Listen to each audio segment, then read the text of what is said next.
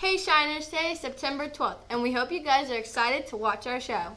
Now let's get into business and talk sports with Alyssa and Nora for the sports report. Hey Shiners, I'm Melissa, I'm Nora. and this is Shiner Sports. The soccer team lost Monday night to Jacksonville 4 to 1. The scores are getting better. Keep fighting, soccer team. The volleyball team won their game against Milan Tuesday night. Congratulations, ladies. The boys cross country team got second at their meet Tuesday night. The girls got first. Nate Elliott got first. Hannah Potts got second, and Kerrigan Friend got third. Good job, girls and boys. The soccer team's next game is Saturday at Swiss. The cross country team has pre-RVC tonight at our home field at the 4-H grounds at 5:30. Come support. The volleyball team's next game is Tuesday against South Dearborn. Ball up with Shiner Sports. Now back to Nate and Avery. Way to dig deep, sports teams. Oh, and that was an amazing report, girls. Now let's go see what crazy word Trenton has for us. Hey Shiners, it's Abby with the quote of the week. This week's quote is The way to get started is to quit talking and begin doing by Walt Disney. This means that if all you do is talk about something, you're never going to get it done. Walt Disney was born on December 5th, 1901. He was an entrepreneur, animator, and voice actor. He also holds the record for the most Academy Awards won by an individual. In 1955, he opened his first amusement park, Disneyland. In 1965, they started plans for another amusement park, Disney World, but he died of lung cancer before the project was finished.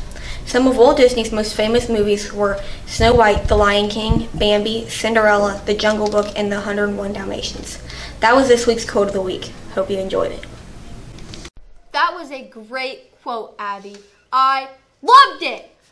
Now let's go get serious with Cammy and Hayden for the world news. Hey Shiners, welcome back to Shiners World. Today we're talking about a new 9-11 memorial.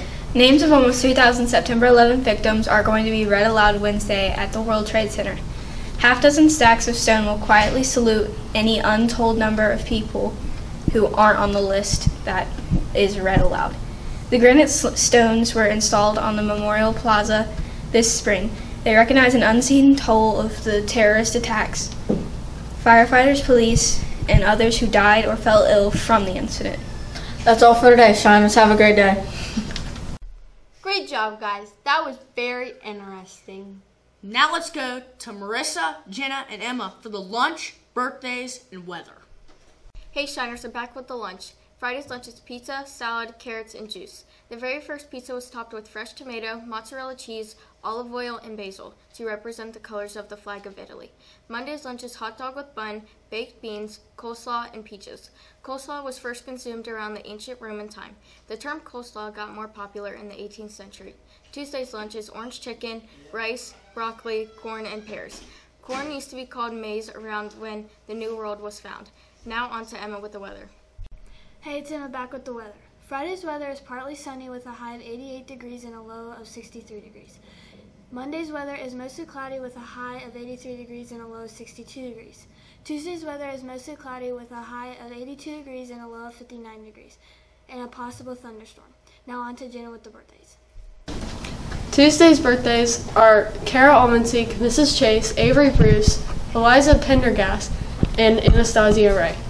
Wednesday's birthdays are Elizabeth Joan, Charlie Tucker, and Tony Wilmot. Thursday's birthdays are Maya Caudill, Bailey Garvey, and Michaela Powers. Now back to Nate and Avery. Thank you, girls. Happy birthday, everyone. We hope you have a good one. If your birthday is in September, make sure to give me a high five in the hallway. Well, guys, our show's over, but at least it's almost the weekend.